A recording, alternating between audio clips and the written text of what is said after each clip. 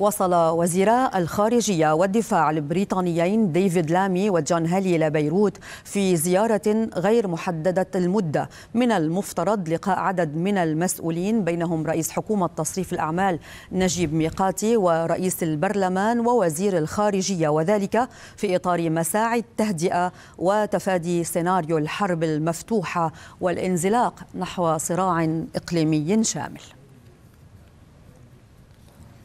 من بيروت. تنضم إلينا مراسلة الحدث غنوة يتيم وأيضا من لندن. تنضم إلينا مراسلة الحدث عروب عبد الحق.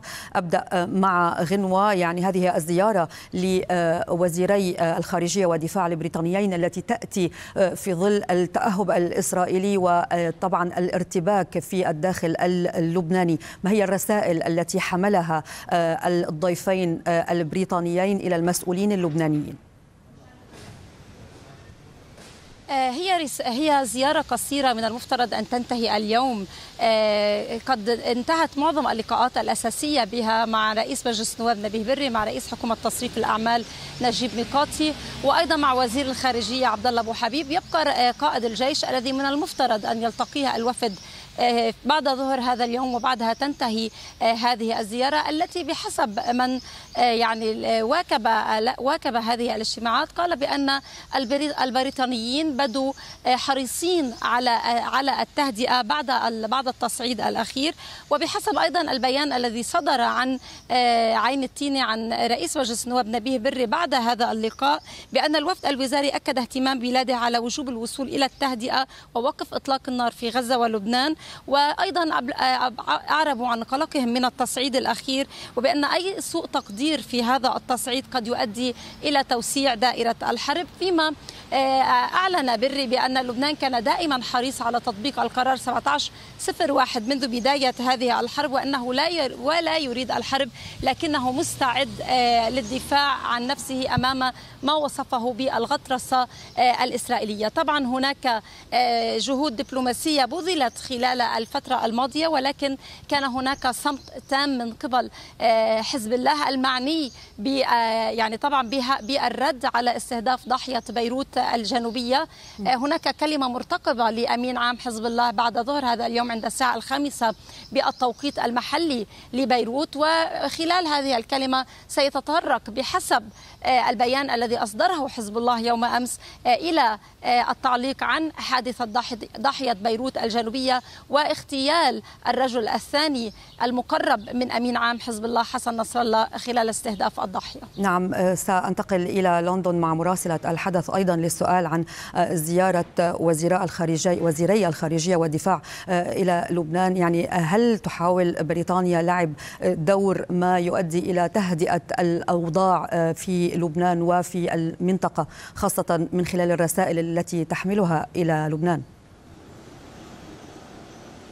صحيح ريني يعني بريطانيا على مدار الأيام القليلة الماضية وهي تقول بأنها تريد أن تلعب دورا دبلوماسيا وإيجاد حل لهذه الأزمة وهي تدعو إلى خفض التصعيد وتجنيب المنطقة يعني دائرة أوسع من من طبعا التوتر. في جلسة كانت لمجلس الأمن خصصت فقط لمناقشة الوضع الأمني في لبنان. كان ديفيد لامي قال بأنه يريد التركيز على الجهود الدبلوماسية مع الشركاء سواء الإقليميين أو في الشرق الأوسط أو مع الشركاء الأمريكيين والفرنسيين وهو قال بأنه تكلم مع يعني المسؤولين اللبنانيين في هذا الصدد. الآن هو زيارته إلى لبنان انعكست شيء تعكس تعكس الرغبة الغربية القوية بتهدئه تهدئة الأمور في المنطقة. طبعا لامي كان قبل هذه الزيارة هو ووزير الدفاع جون هيلي في الدوحة وذلك يعني أيضا من أجل مناقشة الوضع الأمني في المنطقة مع الشركاء في الشركاء المعنيين. كان ديفيد لامي قال بأنه ليس من مصلحة أحد توسيع رقعة هذا الصراع. حتى وزير الدفاع جون هيلي قال بأن المنطقة على مفترق طرق. وقال بأنه لابد من أن يكون التركيز الأساسي الآن على إيجاد حل دبلوماسي. طبعا كم أيضا في يعني تواصلنا مع الخارجية البريطانية وقالت لقناة الحدث بأنها طبعا فيما يخص إسماعيل هنية بأنها مطلعة على التقارير التي تتحدث عن وفاة إسماعيل هنية في طهران ولكن دون تقديم المزيد من التعليقات من التعليقات. أيضا فيما يخص الأزمة في لبنان قال وزير الدولة البريطاني لشؤون الشرق الأوسط وشمال أفريقيا هاميش فالكنر بأنه تكلم أيضا مع المسؤولين اللبنانيين للتعبير عن مخاوف بريطانيا من تصاعد التوتر في المنطقة. اللافت في موقف بريطانيا بأنها لم تعلق رسميا حتى الآن على عملية اغتيال هنيه ولا على عملية اغتيال فؤاد شكر ولكن هذه يعني اعتدنا أن تتريث بريطانيا عادة في التعليق على على الاغتيالات بشكل عام حتى انتهاء التحقيقات وحتى انتهاء جولتها الدبلوماسية في ربما في المنطقة والتشاور مع المسؤولين والأطراف المعنية. ولكن هل ستواجه بريطانيا نفس الرسائل رسائل التهدئة التي نقلتها إلى لبنان أيضا إلى إلى إسرائيل إلى الجانب الإسرائيلي؟ لا معلومات الآن عن ما إذا كانت سوف تواجه نفس هذه الرسائل ولكن يعني تركز بريطانيا كما يبدو على تحركاتها الدبلوماسية للتكلم مع الأطراف العربية في هذا الموضوع. وأيضا هي تركز في الشق الثاني من طبعا تركيزها على أمن وسلامة المواطنين البريطانيين في لبنان. كان لها رسالة واضحة في هذا الموضوع. هناك 16 ألف بريطاني في لبنان طلبت منهم الرحيل والإبلاغ عن مكان وجودهم حتى يتسنى لوزارة الخارجية البريطانية التواصل معهم في حال استجد أو في حال كانت هناك مستجدات فيما يخص الوضع الأمني في لبنان.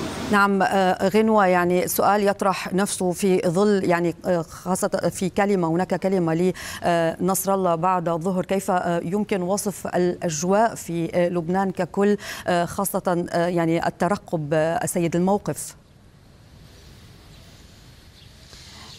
طبعا هناك تخوف لدى اللبنانيين من الخطوة القادمة خاصة وأن منسوب الحرب اليوم بالنسبة للبنانيين يبدو أعلى من منسوب التوصل لسلم. بعض اللبنانيين اليوم خاصة قبل الكلمة فضلوا العودة مبكرا إلى منازلهم تخوفا من أي حدث ممكن أن يتزامن مع هذه الكلمة. أيضا لاحظت لاحظنا خلال الفترة الماضية بعد استهداف ضاحية بيروت الجنوبية كان هناك تخوف بدأ واضحا عكسه مغ... عكسه موضوع مغادرة المغتربين الذين كانوا في لبنان وعودتهم ومحاولة عودتهم إلى إلى بلدان الاغتراب خاصة وأن بعض شركات أو مكاتب السفريات تحدثت عن أن البعض لم يتمكن من إيجاد تذاكر سفر. هذا الأمر لم يكن قبل الرد على ضحية بيروت الجنوبية. قبل الرد على ضحية بيروت الجنوبية كان هناك عدد كبير من اللبنانيين الذي لم يسافر بسبب الحرب. هذا الأمر تغير بعد استهداف ضحية بيروت الجنوبية. إضافة إلى الإجراءات التي تتخذها الحكومة اليوم تخوفا من أي سيناريو حرب إن كان عبر تهيئة المستشفيات لاستقبال عدد كبير من الجرحى عبر تأمين مراكز للنزوح. كان نعم. هناك تحدثت الحكومة عن إيجاد عن تأمين أو إيجاد مأوى لمليون لبناني في حال كان هناك أي حرب طويلة. نعم. من بيروت كنت معنا مراسلة الحدث غنوة يتيم شكرا لك. وأيضا شكرا لعروب عبد الحق مراسلة الحدث من لندن.